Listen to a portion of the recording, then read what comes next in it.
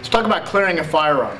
So the term clearing, when you say it, often people associate it with making sure that there's no round inside the pipe, there's no magazine in the well, and that the weapon itself is rendered useless and not capable of causing any trouble unless you use it as a blunt instrument. So in this case, we're using a training weapon. Whenever you're working on your firearm disarmaments, I always tell people start with a firearm that's not real. We want something of sufficient weight. We want it to look and feel like the real thing, but we also want it not to be any danger to anybody unless, of course, again, you use it as a blunt object. So this firearm, it's just a model of a Beretta made by ASP. Obviously, anybody who's trained in defensive tactics knows who ASP is. They manufacture all kinds of products in the red gun category, uh, as well as uh, collapsible batons, batons, pepper spray, that kind of thing. So this weapon here, what we're going to talk about is the basic clearing. Now, go watch videos online, watch a bunch of them, and then ignore them and come back and rewatch this one. Okay, because here's the problem about 21 years ago, when I was going through a defensive tactics instructor program, we actually realized that many of the things that we were being taught was potentially risky to the individual that was performing it. There are a lot of styles out there that claim to know how to do defensive tactics. They, they claim they know how to do firearm disarmaments, and yet they've never tested it with a, simunitions, a weapon with simunitions or an alternative wax type bullet that causes pain and let you know for a fact that you've been hit. Even a paintball gun would be better than nothing. This is a starting phase just to illustrate the techniques, but if you really want to know whether or not they work, you have to test them as clearly as possible to a potential threat. Because if there's no projectile, you can't really gauge whether or not it makes impact, right? That's just a, a reality we're not training like kids, okay? We're not five or six years old where we go, bang, I got you, and they're like, no, you didn't. That's not how this works. And unfortunately, most of the people out there teaching this stuff are teaching watered down versions of techniques they learned in the dojo that look sexy, almost always, things like kotegaeshi and so forth and so on. And that has validity, but not from a standard technique position that you normally see, which is like a weaver stance or a single arm stance or something like that. So Clearing the weapon in this case, in terms of the vernacular we're using, is about clearing your body out of the line of fire. Okay, so it's called clearing a weapon. Likewise, like I said in the very beginning, that can also be attributed to making sure a weapon is clear and free of danger if you're ever using a live weapon or a weapon with simunitions and so forth. A single hand grab or double hand grab is essentially the same.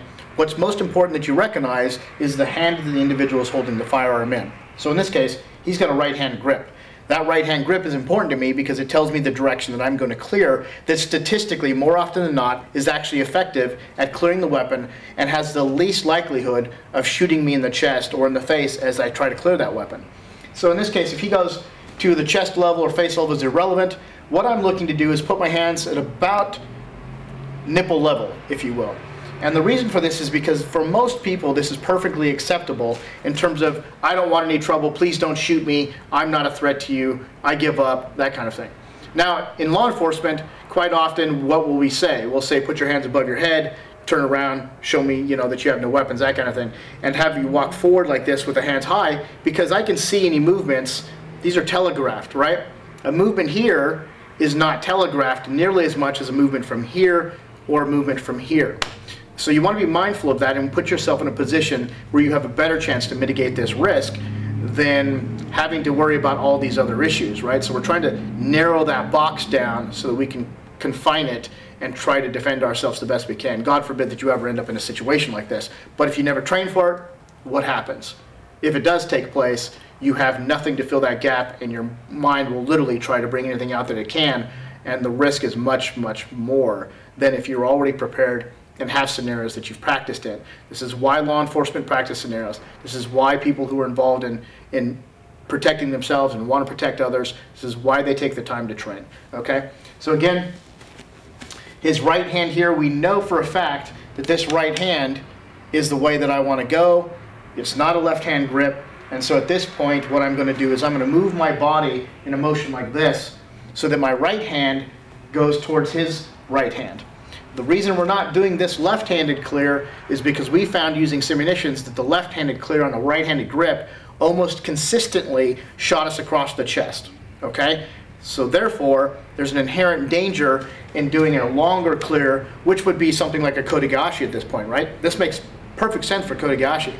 So technically I'm on the outside of the weapon when it comes up and he's pointing at somebody else and I want to take this weapon away from him. Kotegashi's perfect. That makes perfect sense. But it does not make perfect sense here. Because in order to get into this position, I'd have to clear the wrong direction.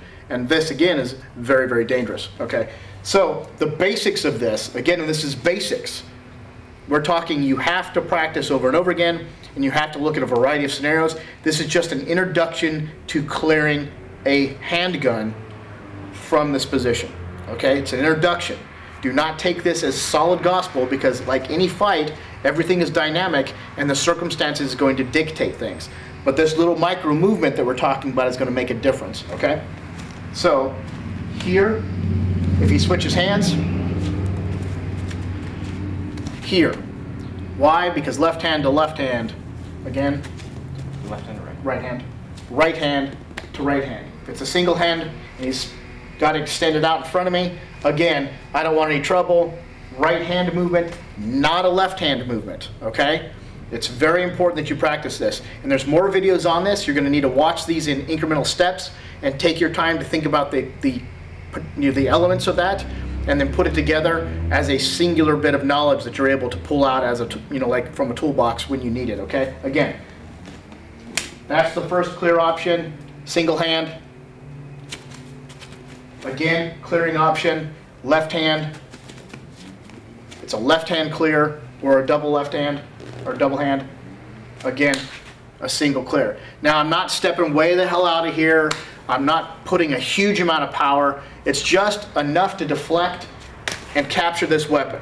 We'll talk more about grips and being able to grab the top of the barrel and that kind of thing in future videos. So you'll want to watch any other video that corresponds to this particular topic. Again, this is the basic clearing movement. It's a right hand to right hand, left hand to left hand for clearing a handgun. And there are other videos that correspond to long guns, shotguns, and also dealing with what the next movements are going to be. But again, for the last time, right hand to right hand, and you can grab here, you can grab across the top. There's a, a variety of things you can do, but it's very, very important that you only clear right hand to right hand, left hand to left hand.